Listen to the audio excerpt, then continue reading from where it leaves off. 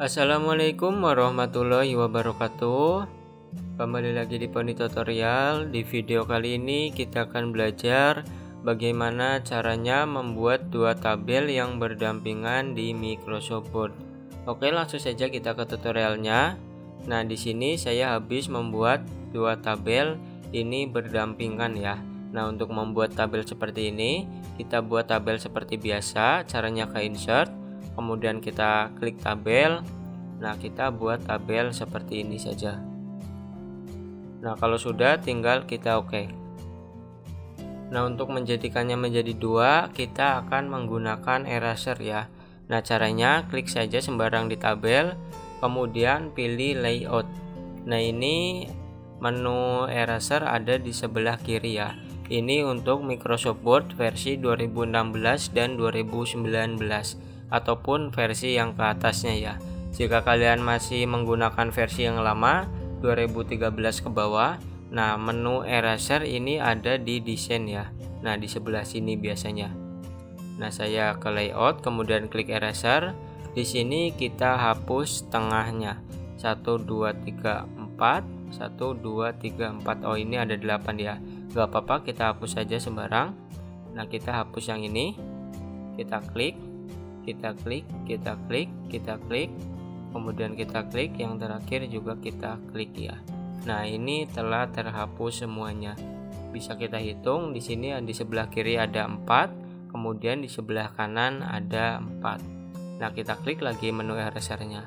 Nah ini sudah terbagi menjadi dua.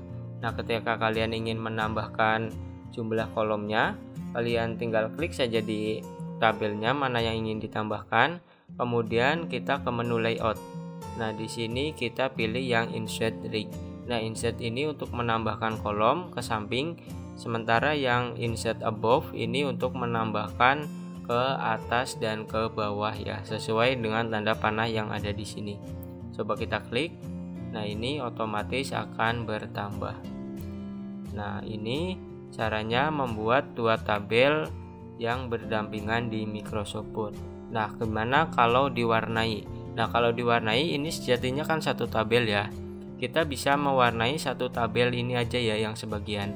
Nah, caranya kita blok. Bloknya cukup segini saja ya ataupun yang depan. Nah, kemudian kita ke home dan kita pilih border and shading.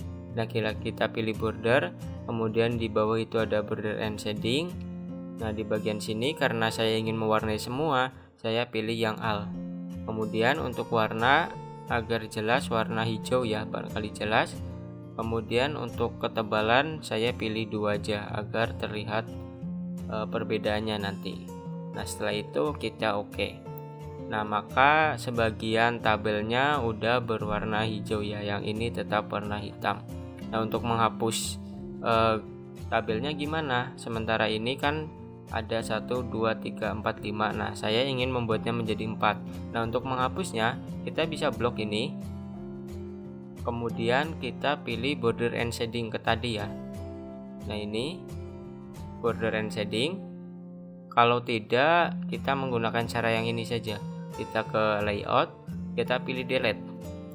Nah kita pilih delete cell dan kita pilih save cell left ini aja ya. Kita oke okay aja nanti bawahnya telah terhapus.